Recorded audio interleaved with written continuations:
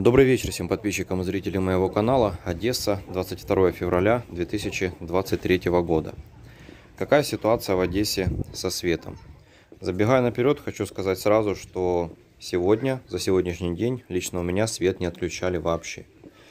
Значит, но вчера у нас э, ухудшились погодные условия. И, значит, вчера вечером сообщали о том, что из-за непогоды в Одесской области были возможны аварийные отключения света. Вчера, если не ошибаюсь, свет отключали на несколько часов, но днем еще. В Одесской области ухудшились погодные условия, в результате чего начались аварийные отключения света. Э, на вчерашний вечер без электроэнергии осталось 24 населенных пункта области.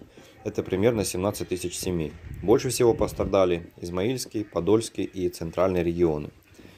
Из-за дождя и сильного ветра в нашей области э, падали деревья, что, приводит, что приводило, вернее, к обрыву проводов. Сегодня днем поступила информация о том, что самая сложная ситуация со светом в Одесском районе из-за непогоды.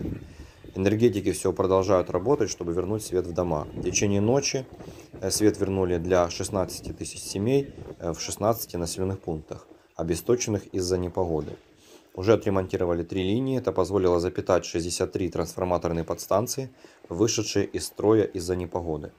По состоянию на 12.00 обесточенными остается еще 1000 домов в 8 населенных пунктах. Но самая сложная ситуация в Одесском районе. А, сегодня погода была шикарная, сильного ветра не было, вот поэтому как бы информация о том, что падали деревья там или происходили какие-то э, ситуации, не поступала. И значит, тут уже ближе к вечеру поступила информация о том, что ДТЭК ликвидировал последствия непогоды в Одесской области. Удалось вернуть свет в 50 населенных пунктах Одесской области. По состоянию на 18.00 все в нашей области со светом. Я не понял единственного момента. Значит, в последнем сообщении сообщают о том, что в 50 населенных пунктах Одесской области удалось вернуть свет. А вчера вечером сообщалось о том, что Э, э, без электроэнергии осталось 24 населенных пункта. То есть сначала было 24 населенных пункта без электроэнергии, но свет вернули в 50 населенных пунктов, то есть в два раза больше.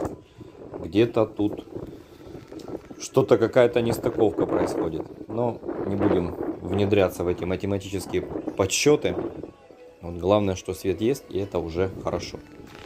Э, в Одессе все спокойно, я на связи. Как будет появляться информация, сразу же буду сообщать. Друзья, будьте предельно бдительными, я вас очень прошу.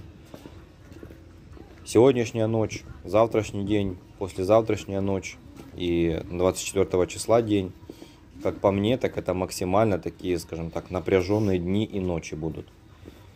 Как будут развиваться события, что будет происходить, неизвестно. Поэтому огромная просьба, будьте бдительными и не расслабляйтесь. Не расслабляйтесь, реагируйте обязательно на сигналы воздушной тревоги, потому что все может повториться, как ровно было год назад. То есть в 4 утра начнутся обстрелы городов и пошло-поехало. Ладно, всем хорошего вечера, мирного неба, спокойной ночи. До встречи, пока.